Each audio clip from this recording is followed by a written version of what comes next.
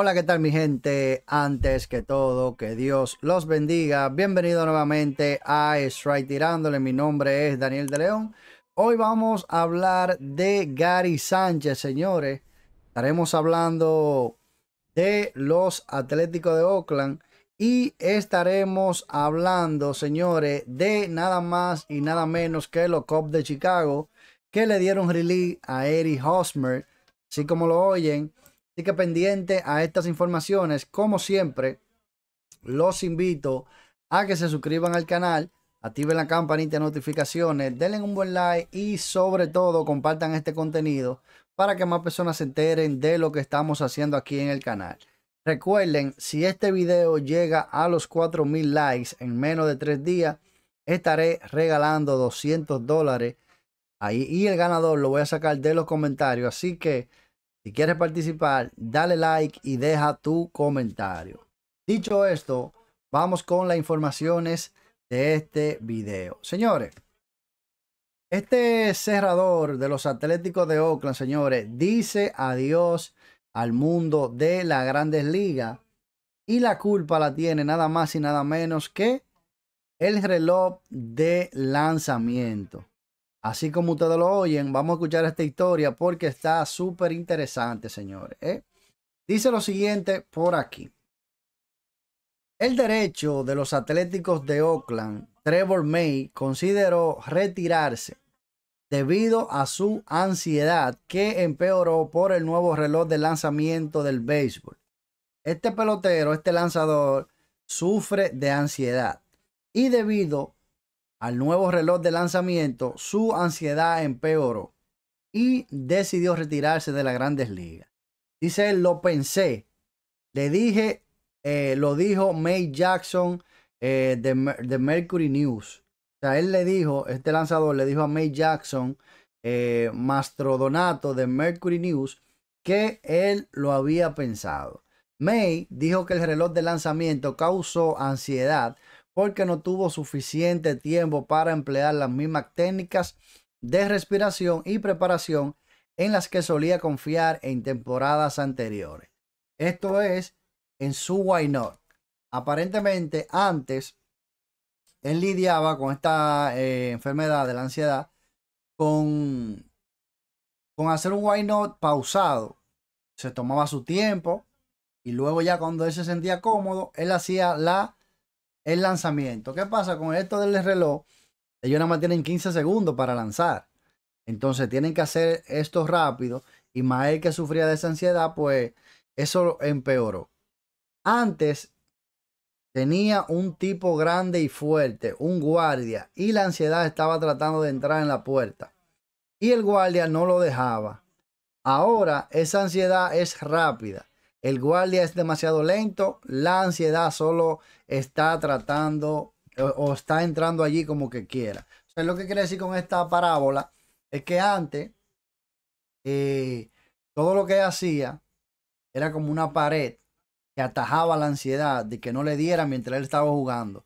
Pero ahora con el reloj de lanzamiento, esa ansiedad, cada vez que él sale a lanzar, eso pasa igualito debido al reloj. Eh, dice por aquí que Mate admitió que el reloj de lanzamiento fue solo un factor que contribuyó a su ansiedad.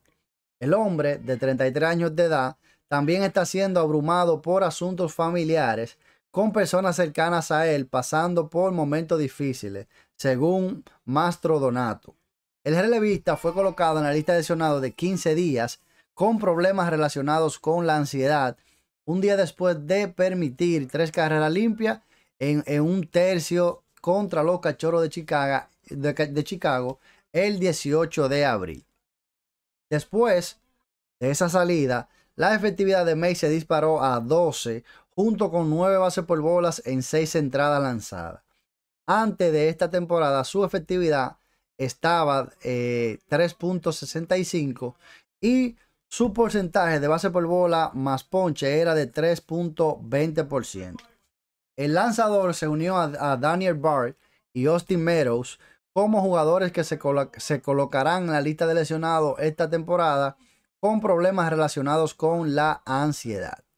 May no está seguro de cuándo volverá a lanzar, pero está trabajando en nuevas formas de desarrollar la confianza con el psicólogo deportivo de los Atléticos de Oakland, Ben Struck, quien dice que salvó su carrera y lo convenció de no retirarse.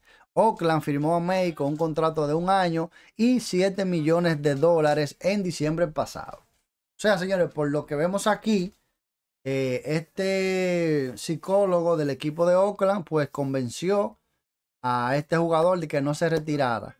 Ben Struck es el psicólogo del equipo de los Atléticos de Oakland. Vamos a ver entonces si cuánto tiempo él tardará fuera. Hasta el momento no se sabe porque está lidiando con esta situación. Pasando con otra información, vamos a hablar, señores, de Eric Hosmer. Lamentablemente recibimos la noticia de que el equipo de los eh, Cachorros de Chicago designaron a Eric Hosmer. Así que dice por aquí lo siguiente. Los Cubs de Chicago designaron el ex primera base All-Star Eric Hosmer para asignación, anunció el equipo hoy viernes, según Sahada Sherman del Athletic. El movimiento encabeza una ráfaga de actividades por parte de los cachorros de Chicago, incluida la colocación del jardinero Cody Bellinger en la lista de lesionados de 10 días con una contusión en la rodilla izquierda, y el reintegro del segunda base Nico De la lista de lesionados. El club también contrató al jugador del cuadro Edwin Ríos y al jardinero Mike Tauchman de las menores y envió relevista Keegan Thompson a AAA Iowa. Chicago agregó a Hosmer en la última temporada baja con su contrato de un año por el mínimo de la liga de 720 mil dólares. A lo largo de 31 juegos con los Cachorros de Chicago, Eric Hosmer batió 2.34 con dos cuadrangulares. También registró un OPS de 610 67% de OPS Plus, dígase 67% por debajo de la liga. Y perdió tiempo de juego eh, el toletero novato Matt Mervis, a quien Chicago llamó a principios de mayo. El jugador de 25 años tiene un honrón y un doble en 10 ocasiones. Y que ahí está, señores. Dice que los padres de San Diego todavía le tienen que pagar a Eric Hosmer aproximadamente 13 millones para la eh, por la temporada hasta la campaña 2025. Los padres intentaron trasladar al, cuatro veces ganador de guante de oro de los Nacionales de Washington antes de la fecha límite de cambio el año pasado, pero el jugador de 33 años eh, vetó el trato porque no tenía protección de canje para ciertos equipos. Hosmer Finalmente fue cambiado a los Medias Rojas de Boston y San Diego retuvo el salario más allá del 2022. Un veterano de 13 temporadas, Hosmer ayudó a llevar a los Kansas City Royals a una serie mundial en el 2015 y fue honrado como el Silver Slugger, bateador de plata, en el 2017. Así que ahí está, señores. Eric Hosmer está en asignación. Pasando con otras informaciones, y vamos a hablar de Gary Sánchez. Yo sé que la mayoría de que me siguen aquí en este canal, en el día de ayer vieron que estábamos hablando de Gary Sánchez, que para hoy viernes, si el equipo de los Mets no lo subía al equipo grande, él se podía salir del contrato y era casi inminente o eminente. ¿Qué pasa? Pues en el día de hoy temprano llegó la información de que los Mets de Nueva York estaban llamando a Gary Sánchez al equipo grande, o sea, lo subieron a las grandes ligas. Y vamos a escuchar esta información. Dice lo siguiente por aquí. El Kraken está a punto de regresar a la Gran Manzana. Los Mets de Nueva York seleccionaron el contrato del receptor Gary Sánchez, anunció el equipo hoy viernes.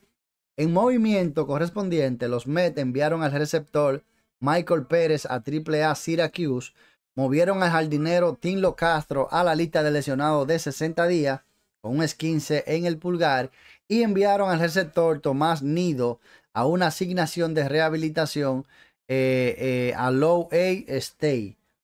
Dice por aquí que Nueva York firmó a Gary Sánchez con un contrato de liga menores el 9 de mayo después de que los gigantes de San Francisco lo liberaran o lo votaran para que se escuche más aterrador. El respaldo de 30 años ha jugado excepcionalmente bien para los Mets de Syracuse, bateando 3.18, un promedio de envasaje de 531. O sea, está viendo la pelota así, señores, Gary Sánchez, con 3 extra bases y 5 carreras impulsadas en 32 turnos al bate. Los Mets actualmente están usando un tándem del novato Francisco Álvarez y Michael Pérez detrás del plato. Dígase, lo, están turneando. Mientras que Omar Narváez está en la lista de lesionados. Sánchez comenzó su carrera en Nueva York con los Yankees, donde fue dos veces All-Star y una vez Silver Slugger. Los Yankees lo cambiaron a los mellizos de Minnesota antes de la campaña 2022. Así que ahí está, el equipo de los Mets le da la oportunidad a Gary Sánchez, lo sube al equipo grande. Ahora Gary Sánchez tiene que hacer lo propio, seguir caliente como él ha estado en AAA para que se pueda quedar en el equipo grande. Así que me gustaría saber qué ustedes opinan acerca del Kraken, como le dicen a Gary Sánchez. Sus comentarios son bastante importantes, me lo pueden dejar por ahí debajo en la cajita. Así que como siempre, señores, los invito a que se suscriban al canal, activen la campanita de notificaciones, denle un buen like y sobre todo compartan este contenido para que más personas se enteren de lo que estamos haciendo aquí en el canal. Así que gracias, bendiciones y nos vemos. Hasta la próxima.